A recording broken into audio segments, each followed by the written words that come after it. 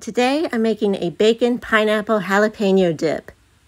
In a bowl, add cream cheese, sour cream, onion powder, jalapenos, crushed pineapple, bacon, and shredded cheddar cheese. Stir this together until it's well combined.